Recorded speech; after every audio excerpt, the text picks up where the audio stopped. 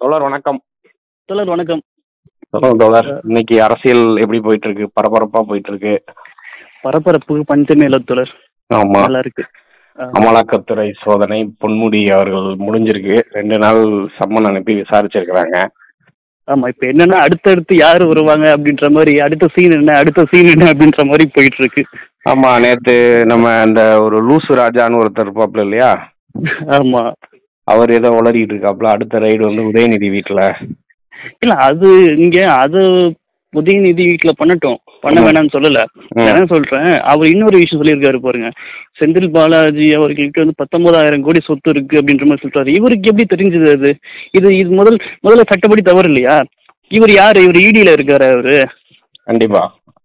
H ராஜா இடியில் இருக்காரா? இல்லை ஏதாவது அரசு பத பதவியில் இருக்கு. சென்ட்ரல் அதாவது ஒன்றிய அரசோடைய ஏதாவது பதவியில் இருக்காரா? எதுவுமே இல்லை.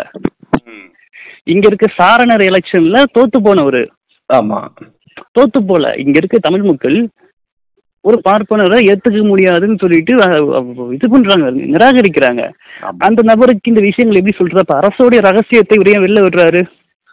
அதான் தோழர் அவர் அது மட்டும் உதயநிதி அவர்கள் மீது மட்டும் இல்ல. அடுத்து வந்து ஏ இவங்க K N Nehru Anitha Radhakrishnan E V Velu இந்த மாதிரி ஒரு ஆறு ஏழு அமைச்சர்கள் மீது ரைடு எடுத்து வரும்னு சொல்றாங்க. இன்னைக்கு வந்து பாத்தீங்கன்னா தூத்துக்குடி நீதிமன்றத்துல அனிதா ராதாகிருஷ்ணன் இருக்காங்க இல்லையா? ஆமா. அவருடைய சொத்து குவிப்பு வழக்கு வந்திருக்கு. அதுல வந்து எங்களையும் சேர்த்துக்கங்க அப்படின்னு சொல்லிட்டு இடி வந்து ஒரு மனு கொடுத்துருக்காங்க போல. இது ரெண்டா பார்ப்போம் தோழர் இப்போ இந்த ஹெச் ராஜாக்களோ இல்லை உமா பாரதியோ இல்லை அவங்க இருக்க பார்ப்பன கூட்டம் பார்த்தீங்கன்னா திமுக எதிர்க்கும்னா கண்டிப்பாக எதிர்க்க தான் செய்யும். அவங்க எதிர்க்காம யார் எதிர்க்க போகிறாங்க ஏன்னா நூறு ஆண்டுகளுக்கு முன்னாடி அவர்கள் அனுபவித்து வந்த அத்தனை பவர் ஸ்டிமுலேஷன்லையும் இன்னைக்கு திராவிட இயக்கத்து நபர்கள் அது பார்ப்பனர் இல்லாத மக்களையும் ஃபில் பண்ணியிருக்கோம் இல்லையா? கண்டிப்பா. அது அப்போ அவங்களுக்கு வயிற்றுச்சல் இருக்க தான் செய்யும். நம்ம ட்ரெயினில் லாங் ட்ராவல் போயிட்டு இருக்கோம். ம். ஒருத்தன் உட்காந்துக்கிட்டே வரான். ம். நம்ம அவனை போய் புஷ் பண்ணிட்டு உட்காந்து நம்ம போய் உட்காந்துக்கிட்டோம்னாக்க என்ன ஆகும்? அவனுக்கு எரிச்சல் இருக்க தான் செய்யும் இது பாப்பானுக்கும் பார்ப்பன கூட்டத்துக்கும் அது பார்ப்பானா அது ஆணாக இருக்கட்டும் இல்லை பார்ப்பன பெண்ணாக இருக்கட்டும். அவர்களுக்கு இந்த கூட்டத்தை பார்த்து எரிச்சல் இருக்க தான் செய்யும் ஈடி சொல்றீங்கனாக்க ஈடி வந்து இன்னைக்கு அது வெளிப்படையாக தன்னுடைய வெளிப்படைத்தன்மையில இருக்குதா அது? இல்லை இங்க தான் இவ்வளோ வந்து நாங்கள் எடுத்திருக்கோம் அப்படின்றது அஃபிஷியலாக ஏதாவது நம்மளுக்கு பொதுமக்களுக்கு ஏதாவது கொடுத்துருக்கா? நாங்கள் இவ்வளோ எடுத்திருக்கோம் இவ்வளோ கன்வீட்டா இருக்குது.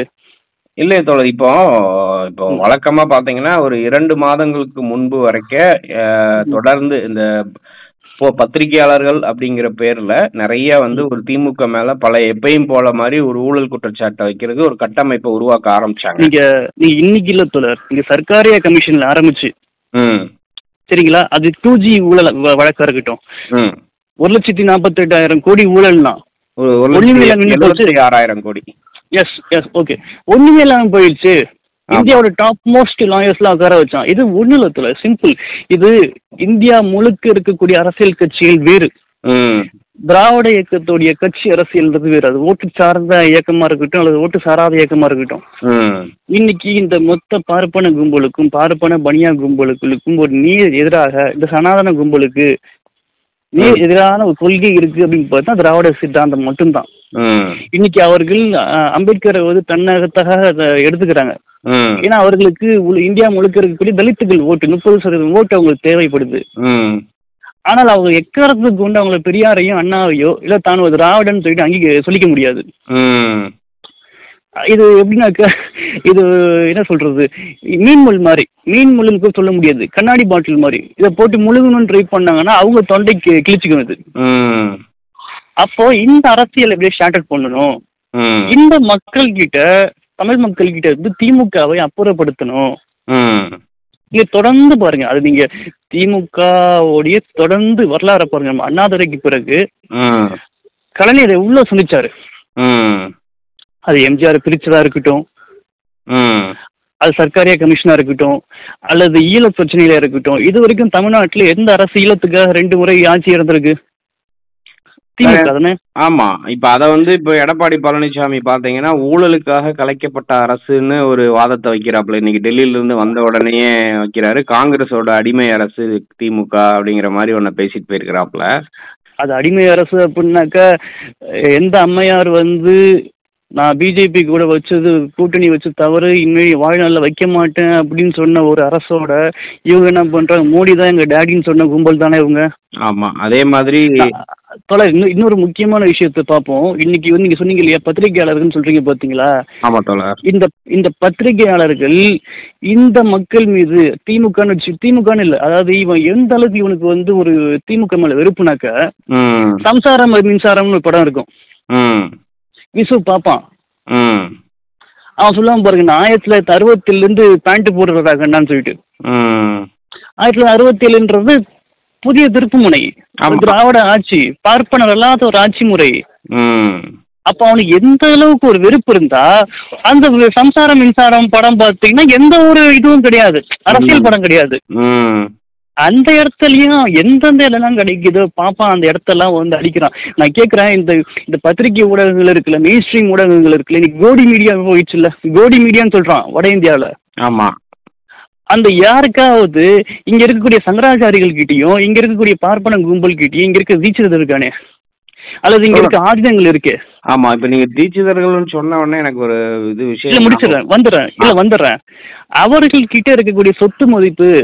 இவ்வளவு இருக்குன்னு என்னைக்காவது பேசிருக்காங்களா கரெக்ட் சொல்லணும் இல்ல இல்ல இல்ல பாலியல் சர்ச்சையை பத்தி பேசுறாங்களே இன்னைக்கு. சங்கராச்சாரியன் தொடைய பிடிச்சி கிளிட்டான்னு சொல்லிட்டு ஒரு அம்மா சொல்லிச்சு. ஏதாவது பேசிருக்காங்களா இன்ன வரைக்கும்? இல்ல நீங்க சொன்னீங்க இல்லையா ஒரு வார்த்தை. இவங்க கிட்ட இருக்கக்கூடிய சொத்து மதிப்பை பத்தி யாராவது கேள்வி கேட்டிருக்காங்க. அப்படின்னு. சிதம்பரம் நடராஜர் கோவில்ல வந்து அறநிலையத்துறை கட்டுப்பாட்டுல இருக்கிறப்ப ஆண்டுக்கு நாலு கோடி ரூபாய்க்கு மேல வருமானம் வந்துச்சு. வருமானம் இந்த சென்ஸ் அதுல இருந்து காணிக்கையாக பெறப்பட்டதுன்னு கணக்கு. காட்டினாங்க அறநிலையத்துறை. காணிக்கை மட்டும்? காணிக்கை மட்டும் ஆமா. அது போக. மத்த பக்தர்கள் கொண்டு வந்து கொடுக்கக்கூடிய நகைகள் அன்பளிப்புகள் எல்லாத்தையுமே கணக்கு எடுத்து பல கோடிகளுக்கு கணக்கு காட்டினாங்க அரசு கட்டுப்பாட்டுல இருந்தப்ப.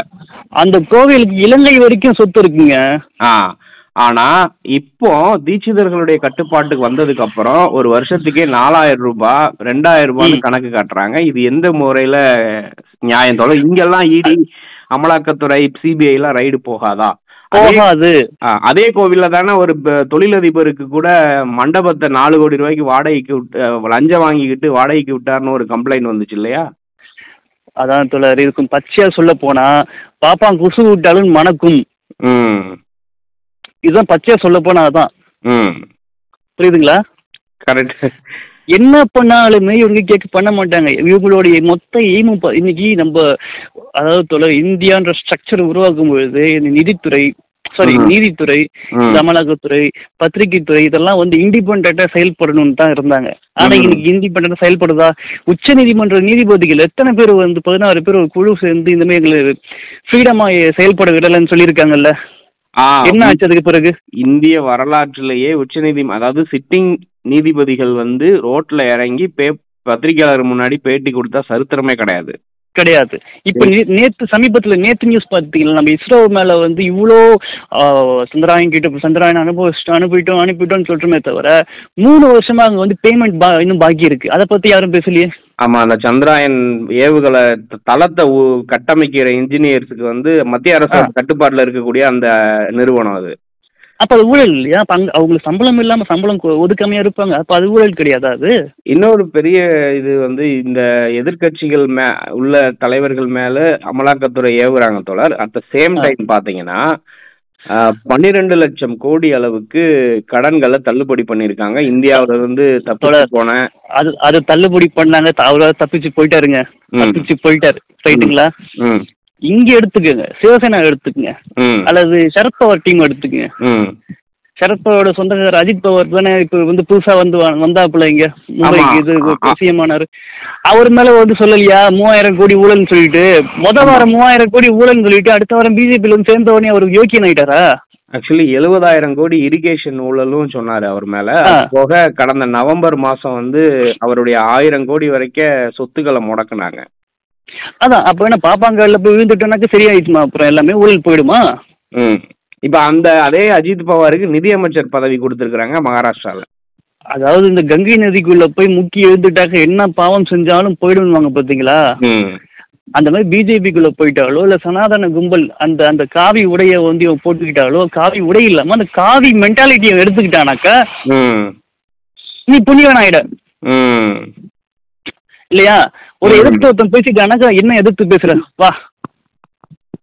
இவங்களும் பாத்தீங்கன்னா இங்க இருக்கிறவங்க பாத்தீங்கன்னா இவங்களுக்கு அப்பம் பாசம் கேக்குது. ம். பாப்பாம் பாசம் கேக்குது அப்ப இங்க என்னன்னாக்கா இங்க- நம்ம என்ன என்ன விஷயம் தோழர் பாப்பானா நம்ம எதிர்த்து பேசக்கூடாதுன்றதுக்காக இந்த மாதிரியான சிக்கல்கள்லாம் நம்மளுக்கு ஓடிட்டு இருக்குது அதே இதே இதே இப்போ எடப்பாடி வந்து திமுக ஊழல்னு சொல்றாருல தோழர்? இப்ப அந்த விஜயபாஸ்கர் பி வி ரமணா அப்புறம் இன்னொரு பதினோரு பேர் அவ- அவங்க மேல உள்ள ஒரு வழக்கு இருக்கு இல்லையா? குட்கா ஊழல் வழக்கு. ஆமா ஆமா. பதினோரு மாசமா வந்து சிபிஐ வந்து அனுமதி கேட்டுக்கிட்டு இருக்கு. இவங்க மேல நடவடிக்கை எடுக்கணும்னு. தமிழ்நாடு சட்டத்துறை அமைச்சரும் ஆளுநருக்கு அனுமதி கொடுக்கணும்னு சொல்லி லெட்டர் எழுதுறாங்க. அந்த லெட்டரே வரலன்னு சொன்னாரு. வராது. அதுதான் இது பெரியார் வந்து அழகா சொல்லுவாரு. இது டெமோக்ரஸி கிடையாது. இது பார்ப்பனோக்ரஸின்னு ஒரு பிராமினோக்ரஸி அப்படின்னு ஒரு அதே மாதிரி நாம் போராடி சட்டங்கள் செய்யும் பொழுது நீதிமன்றங்களும் நீதித்துறைகளும் முழு முழும் பார்ப்பனமயமாக இருக்கும் அப்படின்னு சொல்லுவார் பெரியார். அப்போ நம்ம என்னதான் முயற்சி பண்ணி முயற்சி பண்ணி போனாலும் அங்க ஒரு பாப்பா உட்காந்துருப்பான் இங்க கவர்னர்னு ஒருத்தர் உட்காந்துருப்பாரு ஆமா தோழர் இந்த கவர்னர் அப்படிங்கிற பதவியில வந்து உட்காந்துக்கிட்டு ஒரு அமைச்சர் ஒப்புதல் கடிதம் எழுதி அனுப்பின கடிதத்துக்கு அவங்களுடைய அசிஸ்டன்ட் செக்ரட்டரி எல்லாம் சைன் பண்ணி அனுப்பிச்சிட்டாங்க. நாங்க ரிசீவ் பண்ணிட்டோம்னு ஆனா கவர்னர் திருப்பி சொல்றாரு அந்த இதே வரல. இதோட ஆமா. பாத்தீங்கன்னா பதினோரு மாசமா வந்து கோர்ட்டுல வந்து சிபிஐ வந்து வாய்தா இது பச்சை பொய் இல்லையா? இது பச்சை பொய் இல்லையா இது? ஸோ இவங்க தான் ஊழல்வாதிகள் மேல நடவடிக்கை எடுக்கிறவங்களா? அப்படி. ஆனா இது எல்லாத்தையுமே தமிழ்நாடு மக்கள் மட்டும் இல்ல தோழர். இன்னைக்கு காலகட்டத்துல எல்லாருமே மொபைல் போன் கையில வச்சிருக்காங்க. இன் அதாவது இப்போ இப்போ இப்போ இப்போ எதுக்கு போயிருந்த மோடி இப்போ அமெரிக்கா அமெரிக்கா தான் போயிருந்தா அமெரிக்கா போய் லண்டன் போயிருந்தாரா இப்போ? முதல்ல அமெரிக்கா போயிருந்தாரு. அதுக்கப்புறம் வந்து இப்போ சமீபத்துல பாத்தீங்கன்னா பிரான்ஸ் போயிட்டு ஏன்னா ஒரு இல்லை கன்ஃபியூஷன் தோழர் அவரு. ஒரு நாளைக்கு ஒரு இடத்துல இருக்க மாட்டேன்றாரு. எப்படி வந்து மகாராஷ்டிரால வந்து ஒரு எந்த முதலமைச்சர்னு சொல்லிட்டு அந்த மக்களுக்கே ஒரு டவுட் இருந்ததோ இப்போ நமக்கு வந்து நமக்கும் அந்த மாதிரி டைம்ல இருந்து பாருங்க. யார் முதலமைச்சர் நமக்கே டவுட்டா இருந்தது. அப்போ அந்த மாதிரி சொல்லலாம் அப்போ அங்க அமெரிக்கால இருக்கக்கூடிய அந்த காங்கிரஸ் சபை வந்து காரி துப்பிருச்சு ம். இங்க இருந்து நீ சமாதானத்தை பத்தி பேசுற அங்க இருக்க மணிப்பூர் பிரச்சனையும் அங்க இருக்க தாழ்த்தப்பட்டவங்க பிரச்சனையும் இல்ல அங்க இருக்க இஸ்லாமிய பிரச்சனையும் பேச மாட்டேன்றன்னு சொல்லிட்டு அறிக்கை விட்டுச்சு அது அபிஷியலாவே ஆனா இன்னொன்னு பொதுவான ஒரு தகவல் சொல்லப்படுது தோழர். இப்போ இந்த சீக்வன்ஸ் பாத்தீங்கன்னா இந்த அதாவது பொன்முடி அவர்களுடைய வழக்குன்னு பாத்தீங்கன்னா பன்னிரெண்டு வருஷமா பன்னிரெண்டு வருடங்களுக்கு முன்னாடி நடந்த வழக்கு. ம். அதே இது வந்து செந்தில் பாலாஜி அவர்களுடைய வழக்கு வந்து கிட்டத்தட்ட ஏழு வருடங்களுக்கு முன்னாடி வழக்கு.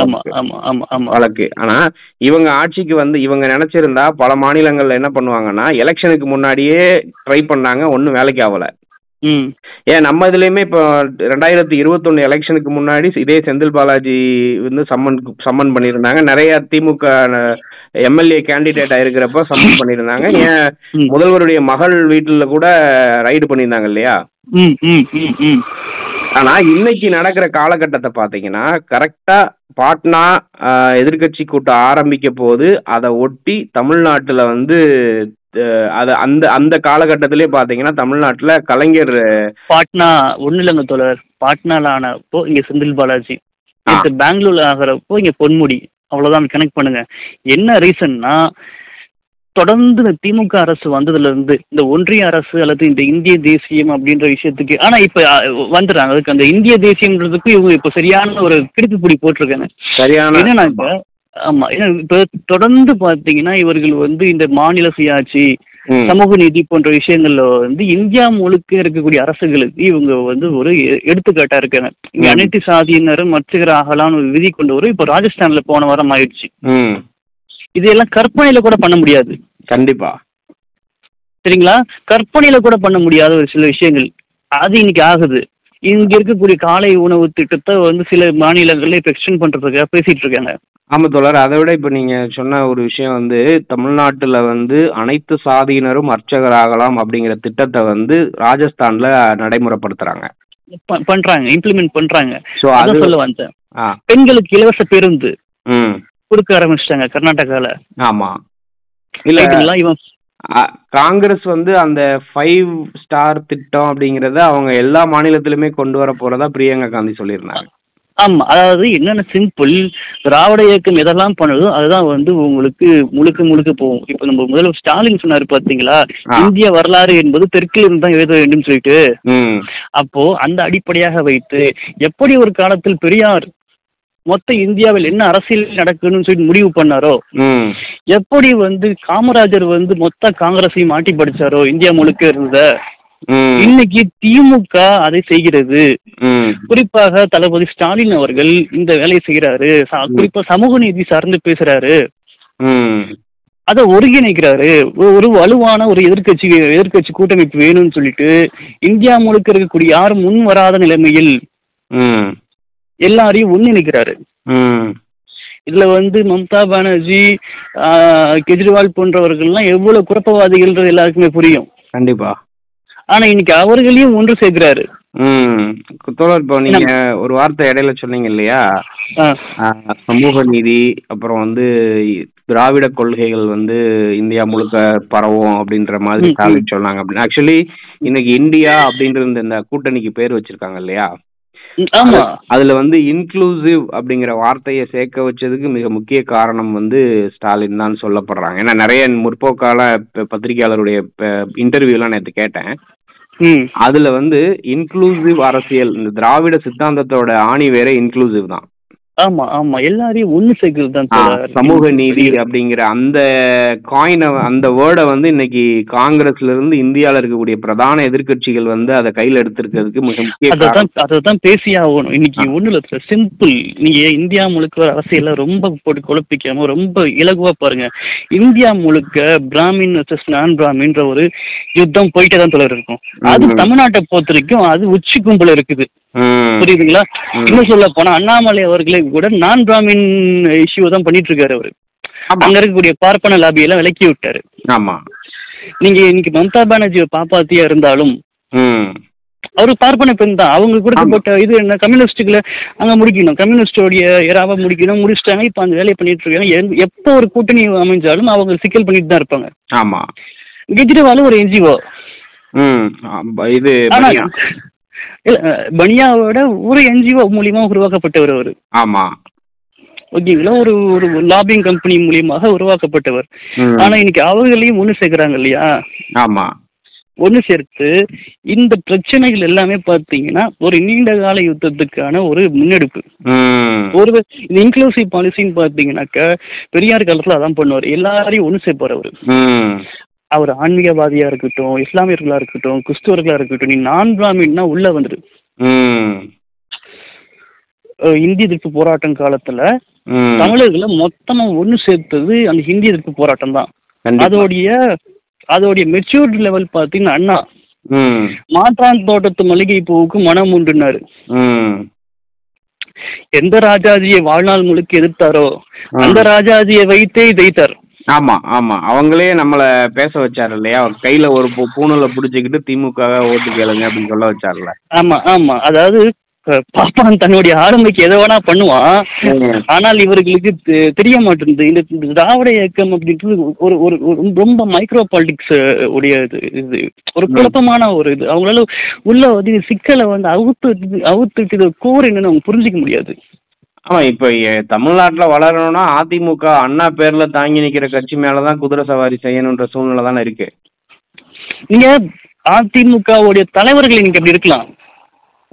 ஆனால் கேடர்ஸ் வந்து முழுக்க முழுக்க நீ காவி மயம் ஆகிட்டாங்கன்னு கேட்ட கிடையாது. இன்னும் சொல்ல போனால் உள்ளுக்குள்ள மனசாட்சி அதாவது மனசாட்சின்னு இல்லைங்க செகண்டரின்னு சொல்றோம் பாருங்க.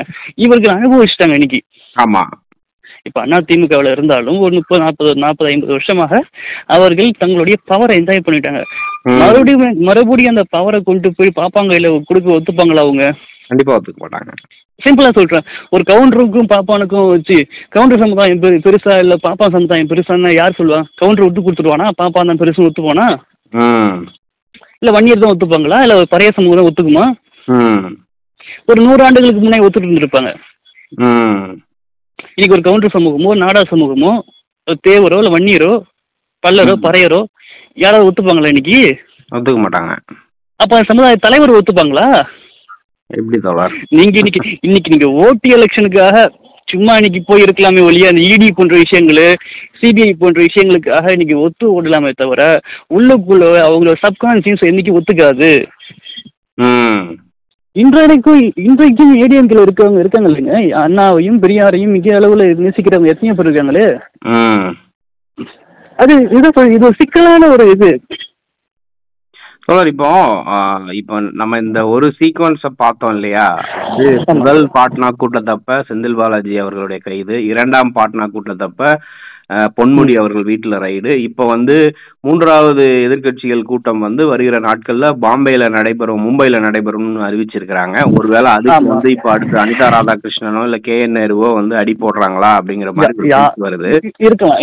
இருக்கலாம் ஆனா- தொடர் ஒரு விஷயத்த வந்து நம்ம இன்னொரு விஷயத்தையும் சைடுல வந்து இவங்க இதை டிமீன் பண்றதுக்காக தான் இது இன்னொன்னு பண்றாங்க. இன்னொன்னு இதே பேரலா ஒன்னு பாத்தீங்கன்னா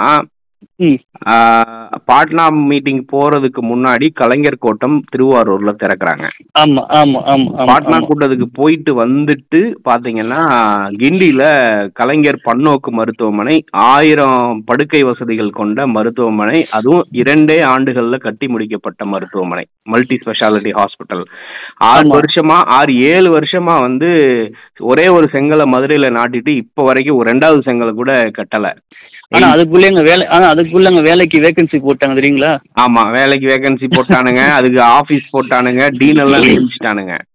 ஆமா. இதுவே பெரிய இமாலய ஊழல்னே சொல்லணும். வெறும் ஆமா. காகிதத்திலே யா- என்ன நடக்குது? அந்த விவேக் சொல்லுவாப்புல யாருமே இல்ல டீ கடையில யாருக்குடா டீ போட்டுறன்ற மாதிரி?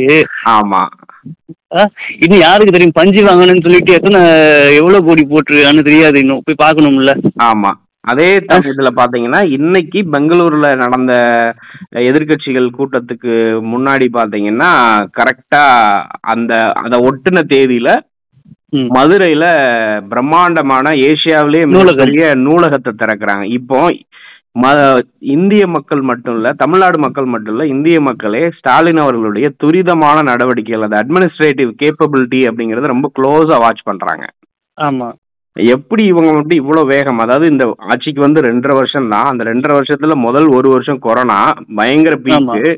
இன்னொன்னு ஆட்சியை விட்டுட்டு போன அதிமுக வந்து நிதி நிலைமையை வந்து படுமோசமா வச்சுட்டு போயிருக்காங்க. நிதி நிதி நிலைமை மட்டும் கிடையாது. இங்க இருக்கக்கூடிய மொத்த அரசு எந்திரமும் காயுமயமா இருந்தது. அது எல்லாத்தையும் ஃபில்டர் பண்ணாங்க. அது ஒண்ணு. அப்புறம் இப்போ கொரோனா முடிச்ச அடுத்த கையோட பாத்தீங்கன்னா தொடர்ந்து ரெண்டு வெள்ளம்.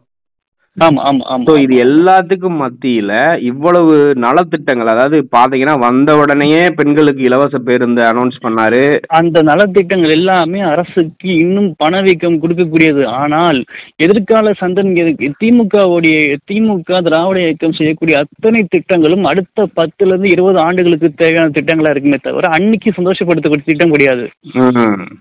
அந்த மாதிரி தான் அவங்க இன்வெஸ்ட்மெண்ட் பண்ணியிருந்தாங்க பண்ணியிருக்காங்க ம். அதன் காரணமாக தான் ஒன்றும் இல்லை உங்களுக்கு இப்போ கலைஞர் என்ன பண்ணாரு? முதல் தலைமுறையா நீ வந்து வரியா? பார்த்த இப்போ ப்ளஸ் டூ எக்ஸாம் எழுதுறியா? இந்தா உனக்கு அஞ்சு மார்க் extra. ம். அப்படி திட்டம் கொண்டு வந்தாரு. ஆமா. இல்ல. ஓட்டு விழ போதா?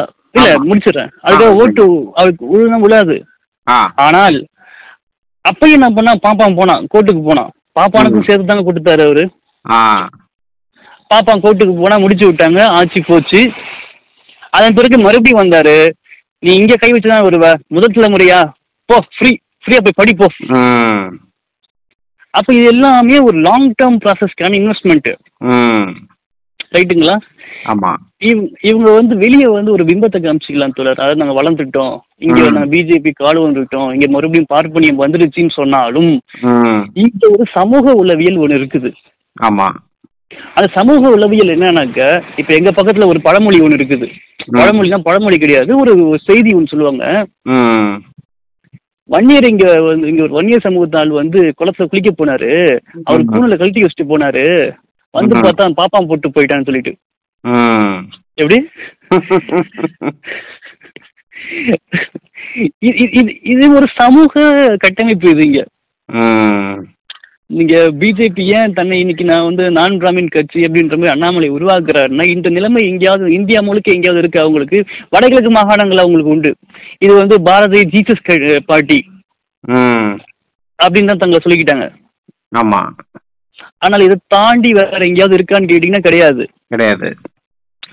இங்க நூறு வருஷத்துக்கு முன்னாடி என்ன பண்ணாங்களோ அதே விஷயத்த திருப்பி இங்க பண்றாங்க அண்ணாமலை இங்க. ஆக மொத்தம் அண்ணாமலைக்கு நன்றி எப்படி இருந்தாலும். இன்னொரு விஷயம் பாத்தீங்கன்னா திமுகவை இங்க ஒவ்வொரு முறை இவங்க இழுக்கும் பொழுதும் அல்ல ஒவ்வொரு முறையும் இவங்க வெட்டி விட வெட்டி விட அது மேலும் மேலும் இன்னும் தான் வலுப்படும் இந்த ஹைட்ரான்னு சொல்லுவாங்க பாருங்க ஒரு ஒரு வரலாற்று ஒரு இமேஜினரி கிரியேட்டர்ஸ் ஒரு அனிமல் பேர் ஹைட்ரான்னு சொல்லிட்டு ஒரு தலையை வெட்டினா ரெண்டு தலை திருப்பி வரும்னுவாங்க. ஆமா.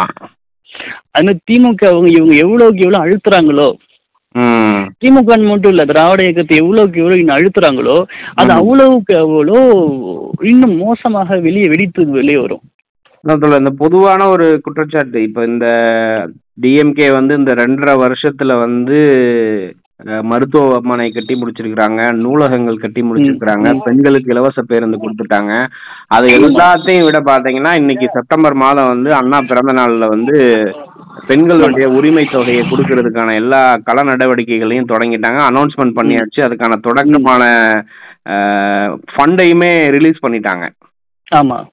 ஸோ இப்படி தொடர்ந்து ஒரு அதாவது அவனுங்க தான் வந்து சொல்லிட்டு இருப்பானுங்க இல்லையா? நாங்க double engine concept double engine வச்சு ஊழல் பண்ற அரசு டபுள் இன்ஜினை வச்சுட்டு ரிவர்ஸ்ல போற அரசை தான் பாஜக நடத்திக்கிட்டு இருக்கு இன்னைக்கு. ஆனா இன்னைக்கு தமிழ்நாட்டுல திராவிட கொள்கை திராவிட மாடல் அரசு அப்படிங்கிற ஒரு வேர்டை காயின் பண்ணி அதை இந்தியா மட்டும் இல்ல உலகம் உள்ள பேச வச்சிருக்காங்க. ஆமா. அந்த இது வந்து அந்த முடியல. அந்த திட்டங்கள் வந்து இந்தியா ஃபுல்லா எல்லா மாநிலங்கள்லயும் அதை கொண்டு வர்றதுக்கு இன்னைக்கு காங்கிரஸும் மற்ற கட்சிகளும் அந்த முனைப்பு காட்டுது. அது என்னன்னா தோல சிம்பிள் காங்கிரஸ் வந்து ஏன் பண்ணுது அப்படின்னாக்கா சமூக ஊடகங்கள் பெரிதாக வளராத காலத்து காலகட்டங்கள்ல இந்த காங்கிரஸும் ஒரு சாஃப்ட் ஹிந்துத்துவா பார்ட்டி தான். ஆனால் இன்னைக்கு சமூக ஊடகங்கள் வந்த பிறகு இன்னைக்கு காங்கிரஸ் தன்னுடைய இடத்துல இருந்து மாறி மீண்டும் அதோடைய ஸ்ட்ரக்சரை மாத்திக்க விரும்புது புது புது தலைவர்கள் வந்துட்டாங்க இன்னைக்கு சமூக ஊடகங்கள் மூலியமா ஏறத்தாழ எல்லாரும் ஒண்ணு சேர்றாங்க காரணம் இந்த இந்துத்துவ அமைப்புகள். நம்ம அதுக்கு ஒரு நன்றி சொல்லணும். பிஜேபி செய்த வேலை என்னன்னாக்கா அது மிகப்பெரிய தவறு செஞ்ச தவறு என்னன்னாக்கா ரொம்ப அழுத்தம் கொடுத்துருச்சு. அந்த அழுத்தம் என்ன பண்ணுச்சு யாரெல்லாம் பாதிக்கப்பட்டாங்களோ கொள்கைகள் வேறு வேறாக இருந்தாலும் அவர்களை ஒன்று சேர்த்துருச்சு இன்னைக்கு. அப்படி. ஒன்று சேர்த்து அது வந்து இன்னைக்கு தன்னுடைய வேலைகளை செய்யுது அது இயங்கியல் முறை அது- இயங்கியல் கோட்பாடு வந்து என்னைக்கெல்லாம் நீங்க வந்து அழுத்தம் கொடுக்குறீங்களோ. அந்த அழுத்தம் வந்து அவங்க தாங்கிக் கொள்ள முடியாமல் யாரெல்லாம் நசுக்கப்பட்டாங்களோ ஒன்று சேருவாங்க கண்டிப்பா. ஏன்னா இன்னைக்கு எதிர்வினை வரும். இன்னைக்கு இந்த இந்தியா அப்படிங்கிற அந்த வார்த்தையை வந்து ராகுல் காந்தி தான் முன்மொழிந்தார் அப்படின்ற மாதிரி சொல்றாங்க. இதே ராகுல் காந்தி தான் வந்து இன்னைக்கு வந்து அந்த இன்க்ளூசிவ் அப்படிங்கிற வார்த்தையை கேரி பண்றாரு. பிரியங்கா காந்தி வந்து சொல்றாங்க மகளிருக்கு வந்து இலவச பேருந்து மத்த ரேஷன்ல முப்பது கிலோ அரிசி வேலை. வேலை வாய்ப்புள்ள இளைஞர்களுக்கு வந்து மாதம் மூவாயிரம் ரூபாய் இது எல்லாமே வந்து இந்த இலவச உ- அரிசி எல்லாம் வந்து நம்ம எஸ்டாப்ளிஷ் பண்ணி பத்து பதினஞ்சு ஆண்டுகள் ஆகுது கூடவே இருக்கும்ல தொடர் முப்பது வருடங்கள் கு- ஆமா நான் அதான் ஒரு இதா சொல்றேன். ரொம்ப பரவலா சொல்றேன். இவங்க சொல்லக்கூடிய இன்னைக்கு இந்த இவங்க கேட்டா சொல்லுவாங்க நாங்க மகளிருக்கு வந்து சொத்து உரிமை கொடுத்துட்டு நான் அதை அட பாவையில நாங்க அதெல்லாம் வந்து எண்பதுகளிலே கொடுத்தாச்சியா இங்க. ஏறத்தாழ முப்பது ஆண்டுகள் பின்னோக்கி இருக்காங்க. நம்ம நம்மளுடைய தமிழ்நாட்டுடைய பொலிட்டிக்கல் அல்லது எக்கனாமிக்கல் அல்லது கல்ச்சுரல் ஸ்டேட்டஸை நீங்க வந்து கம்பேர் பண்ணணும்னா இந்தியாவில் இருக்கக்கூடிய எந்த ஸ்டேட்டோடையும் கம்பேர் பண்ண முடியாது. நீங்க ஸ்காண்டினேவியன் கண்ட்ரிஸோட மட்டும் தான் பண்ண முடியும். இன்னும் சொல்ல போனா யூஎஸ் கூட யூஎஸ் கூட பின்னோக்கி தான் இருக்கும். கரெக்ட் கரெக்டா சொன்னீங்க. யூஎஸ்ல மெட்டர்னிட்டி லீவ் கிடையாது. ஆமா. இங்க ஒரு வருடம் லீவுங்க இங்க பேமெண்டோட அரசு ஊழியர்கள் இருக்கு. ஆமா. இன்னைக்கு அது வந்து பிரைவேட்டுக்கும் கொண்டு வரணுன்ற அளவுக்கு பேசிட்டு இருக்காங்க. ஆமா. நீங்க யூஎஸ்லயே வந்து உங்களுக்கு பெண்களுக்கு ஓட்டுரிமை இல்லாத காலத்திலேயே இங்க வந்து ஓட்டுரிமை வந்துருச்சு தமிழ்நாட்டுல.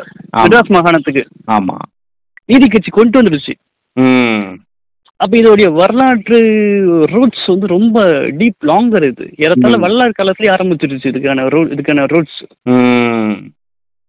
ஸோ இவங்களால இது ஈஸியாக உடச்சிக்கலாம் வர முடியாது. அதுதான் சொல்ல இந்த மக்கள் மத்தியில வந்து இவங்களுடைய நலத்திட்டங்கள் போய் சேர்ந்துடக்கூடாதுன்ற ஒரு ஒண்ணு இரண்டாவது வந்து ஆமா. எதிர்க்கட்சிகளுடைய ஒற்றுமை குறுகிய காலத்துல அதுவும் இவங்களால சேரவே முடியாது வாய்ப்பே இல்லைன்னு சொன்னவங்க எல்லாம் ஒற்றுமையா இன்னைக்கு ஒண்ணு சேர்ந்திருக்கிறாங்க அதனால அது இவங்க என்னதான் முயற்சி பண்ணாலும் தொடர் அதாவது வந்து உட்காந்து எல்லா மீடியாவையும் வந்து கொண்டு வந்து போட்டாலும் கொண்டு. வந்து மோடி நல்லவர் மோடி நல்லவர்னு சொன்னாலும் இன்னைக்கு எது அதாவது ஒண்ணும் இல்லைங்க இன்னைக்கு பஸ் கிடைக்கலனா கூட ஒரு டவுன் பஸ் கிடைக்கலனா யாரோட பிரச்சனை? ஸ்டேட் கவர்மெண்ட் பிரச்சனை. ஆனா இன்னைக்கு என்ன ஆனா இன்னைக்கு என்ன பேச்சு வருது? மோடின்னு சொல்லிட்டு பக்கத்துல கெட்ட வார்த்தையை போட்டுக்கிட்டு வந்ததுல இருந்து தான் இப்படி பிரச்சனை ஆயிட்டு இருக்குன்னு சொல்றாங்களா இல்லையா? சமூகத்துல பொது சமூகம். நான். குறிப்பா கிராமங்கள்ல சொல்றேன். நகரங்கள்ல கூட உங்களுக்கு ஒரு விழிப்புணர்வு இருக்கும். இன்னமும் கிராமங்கள்ல டீ கடைகள்ல இந்த ஆள் வந்ததுல இருந்தா அப்படி போகுது? அப்படின்னு இதே. தானே. ரெண்டாயிரத்தி இருபத்தொன்னு சட்டமன்ற தேர்தல்ல கோயம்புத்தூர் மாவட்டங்கள்ல கொங்கு பெல்ட்ல வந்து மோடி படத்தை போட் போடாமலே பாஜக வந்து ஓட்டு கேட்டாங்க. மோடி. படத்தை போட்டா ஓட்டு கிடைக்காதுன்னு தானே அவங்க படத்தை போடாம ஓட்டு கேட்டாங்க. இன்னும் சொல்ல போனா நீங்க யாருமே வந்து பிரச்சாரத்துக்கு வராதீங்கன்னு சொன்னாங்க.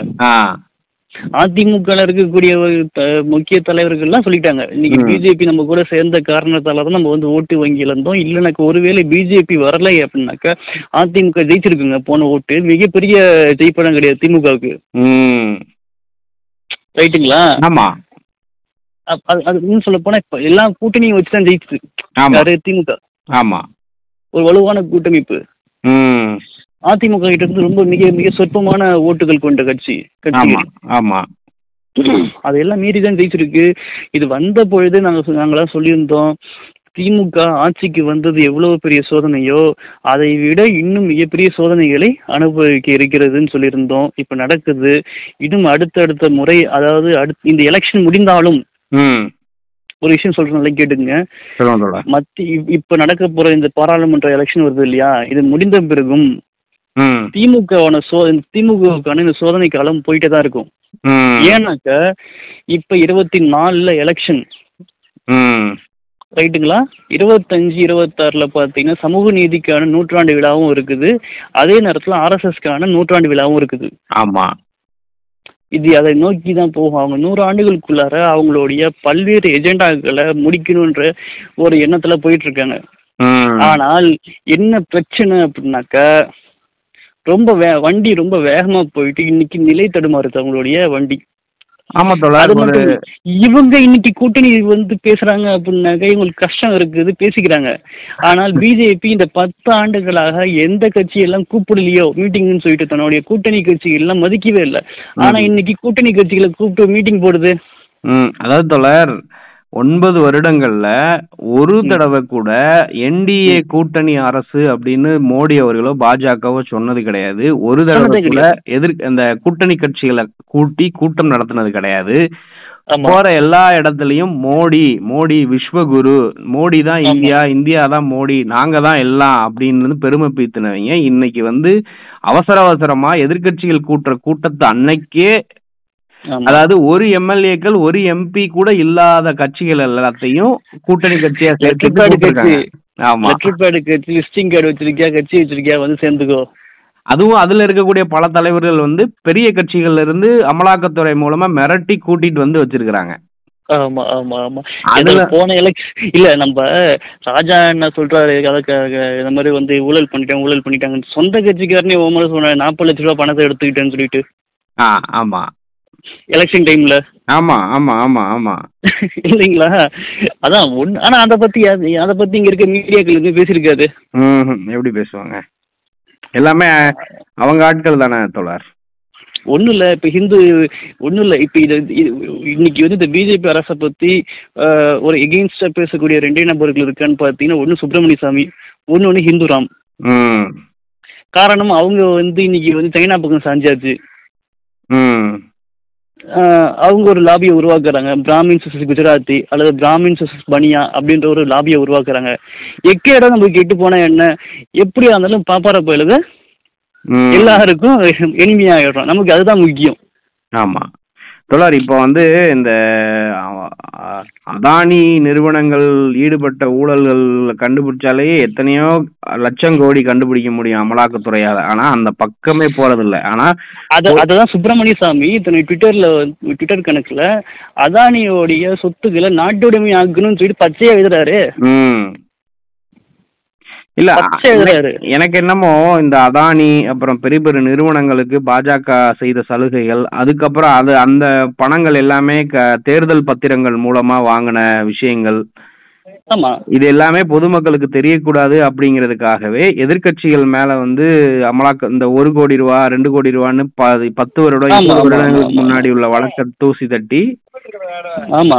அத வந்து மட இது நூத்தி நாற்பத்தி நூத்தி நாற்பத்தி ஏழு பர்சன்டேஜ் வந்து கடந்த ஏழு ஆண்டுகள்ல மட்டும் பிஜேபிக்கான சொத்து அதிகரித்துள்ளது. நூத்தி நாற்பத்தி ஏழு பர்சன்டேஜ் ஆமா இப்ப எந்த ஒரு கட்சிக்குமே ஆனது கிடையாது இந்த மாதிரி. இது எல்லாமே தங்களுடைய ஊழல் மறைக்கிறதுக்கு. ஏன் பிஎம் கேர்ஸ்னு சொல்லிட்டு ஒரு திட்டம் பண்ணாங்க. அதுல. எவ்வளவு ஊழல்னு சொல்லிட்டு எக்ஸ்போஸ் பண்ணாங்க. அதை பத்தி பேசல. இடி போகல. ஆமா. நீதிமன்றங்களும் வந்து தானாவே வந்து கேஸ் எடுக்கலாம். அதெல்லாம் பண்ணல.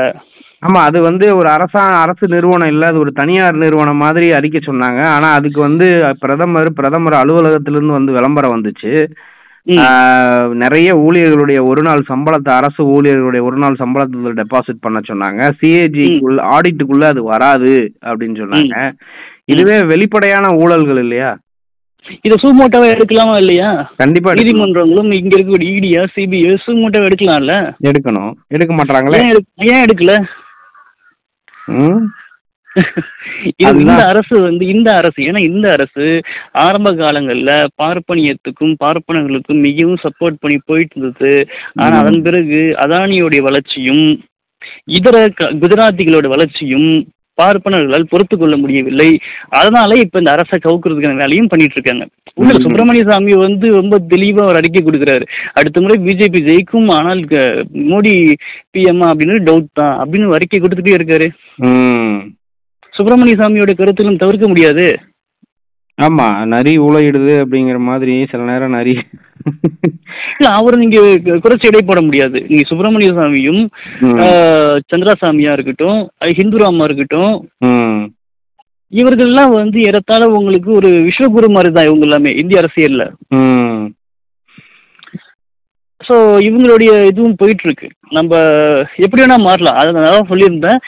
இந்த அடுத்தடுத்த சீன்ஸ்க்கு வெயிட் பண்ணணும் இன்னும். நிறையவே வரும் இன்னும். நிறையவே வரும்.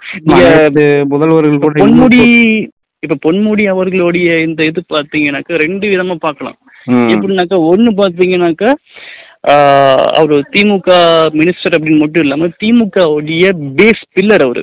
ஆமா. இந்த பேஸ் பில்லரை ஷேட்டர் பண்ணி பார்க்கலான்னு பாக்குறாங்க. இன்னும். சொல்ல போனா பொன்முடி வந்து ஆரம்ப கால திராவிட கழகம் அவரு.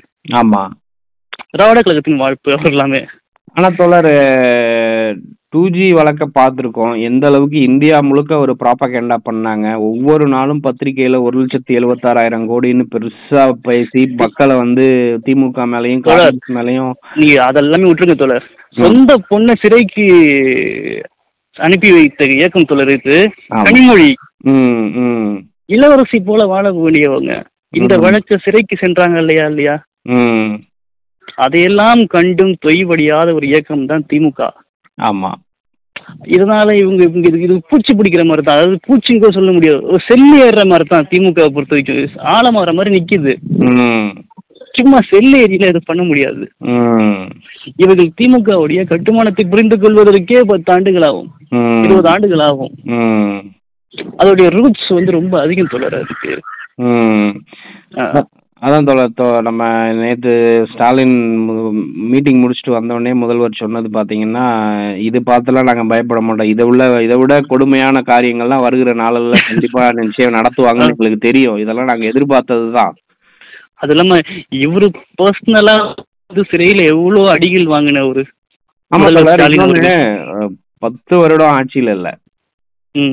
அந்த கட்சியில இருந்து பெருசா ஒரு தலைவரோ இல்ல பெரிய ஒரு பிளவோ கிடையாது.